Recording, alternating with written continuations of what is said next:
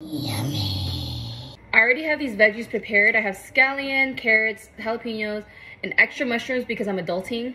And then now I just need to prepare my onions. Now that we've prepared our veggies, we're gonna make our sauce with some gochugaru, minced ginger, soy sauce, sugar, and minced garlic. The texture is gonna be thick like this. Somebody come get her. She's dancing like a stripper. Heat up some oil.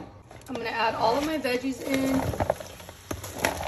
and saute this for about five minutes. After five minutes or until my veggies have wilted, I'm gonna add my squid and my paste. Right about now is when I'm gonna add a slurry.